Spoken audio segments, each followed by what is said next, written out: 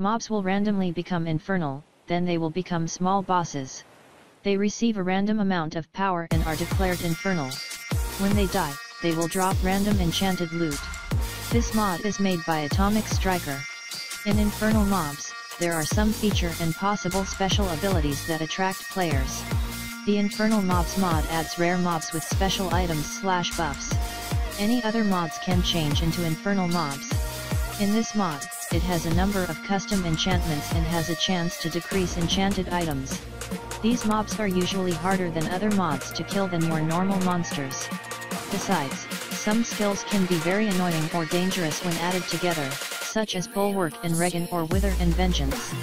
Infernal Mob reduces experience 4 times and a random charm item, including mod item.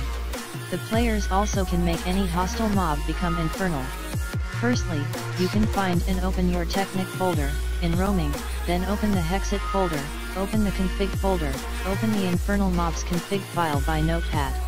Replacing the original numbers with higher numbers will increase the spawn rate of the effects.